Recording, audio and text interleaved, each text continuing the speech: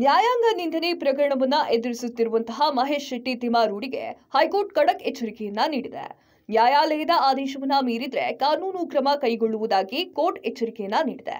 ನ್ಯಾಯಾಂಗ ನಿಂದನೆ ಹಾಗೂ ನ್ಯಾಯಾಧೀಶರನ್ನ ಸಾರ್ವಜನಿಕವಾಗಿ ನಿಂದಿಸಿದ ಪ್ರಕರಣಕ್ಕೆ ಸಂಬಂಧಪಟ್ಟಂತೆ ಬೇಷರತ್ತಾಗಿ ಕ್ಷಮೆಯನ್ನ ಯಾಚಿಸಿ ಮಹೇಶ್ ಶೆಟ್ಟಿ ತಿಮಾರೂಡಿ ಸಲ್ಲಿಕೆ ಮಾಡಿದಂತಹ ಪ್ರಮಾಣ ಪತ್ರವನ್ನ ಪುರಸ್ಕರಿಸಿದಂತಹ ನ್ಯಾಯಾಲಯವು ನ್ಯಾಯಾಧೀಶರನ್ನ ನಿಂದಿಸಿದ ಪ್ರಕರಣವನ್ನ ಮುಕ್ತಾಯಗೊಳಿಸಿತ್ತು.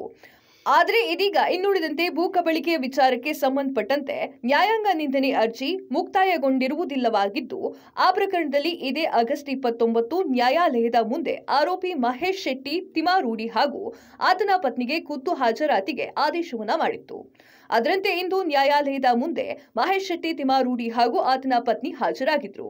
ತಿಮಾರೂಡಿ ಪದೇ ಪದೇ ನ್ಯಾಯಾಲಯದ ಆದೇಶವನ್ನ ಮೀರಿ ವರ್ತಿಸುವುದರ ಬಗ್ಗೆ ಗರಂ ಆದ ನ್ಯಾಯಾಧೀಶರು ಇನ್ನೊಂದು ಬಾರಿ ಹೀಗೆ ಮಾಡಿದ್ರೆ ಬಂಧಿಸಿ ಕಾನೂನು ಕ್ರಮ ಜರುಗಿಸುವುದಾಗಿ ಮೌಖಿಕ ಎಚ್ಚರಿಕೆಯನ್ನ ನೀಡಿದ್ದಾರೆ.